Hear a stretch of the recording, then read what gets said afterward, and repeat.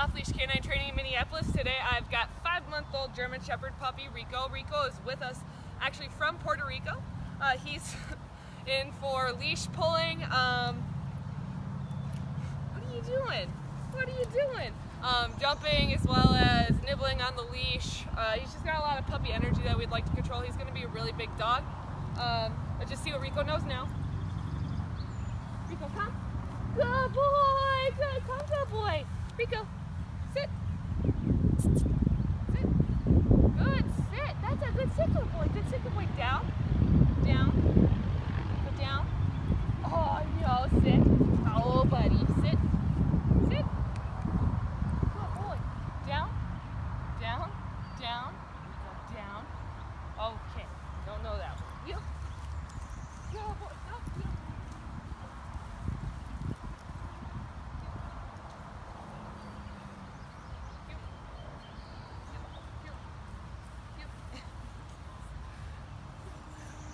Uh, as you can see, Rico just kind of wants to do what he wants to do. Um, right now he's nibbling on my leash. Please don't cut that in half. Um, stay tuned and I will see you guys in two weeks. Rick, what are you doing? What are you doing, you silly boy? Oh, what are you doing? Cutie butt, cutie butt. Oh, no. What are you doing?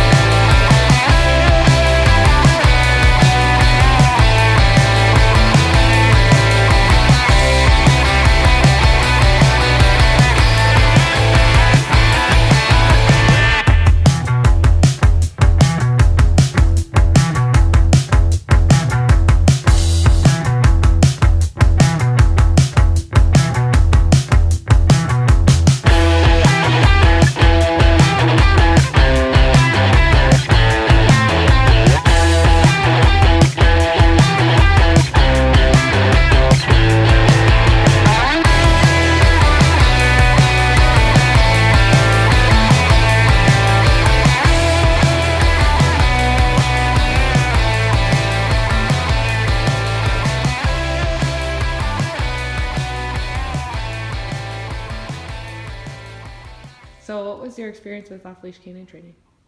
Um, well, about three, two years ago, um, our son had a German Shepherd, and he uh, searched a place to have him trained, and it happened to be off leash canine. Um, and then they bought me a puppy for Christmas, and so when it came time to training him, um, I looked it up, and they just happened to have another place in Minnesota. So I called them up, and I got in right away. Um, it was really nice. They they came and they picked him up, um, and I got to you know get to know them a little bit. And then um, the nice thing, I got video updates every single night of his training. So for two weeks, every night I got uh, photos and video updates, and I could call with any questions, see how he's doing, and things like that. So it was it was a great experience. And um, they also offer um, like refresher courses anytime I think I need it. Um, so great experience, great people, lots of fun. Awesome. And then, what, how did you feel Rico did? I think he did good. I noticed, you know, from from the videos and such that he actually was uh, listening to, to commands and, and everything like that. So um, I'm excited to uh, to train him, to continue the training with him. So Awesome. he's a good boy. Thank you.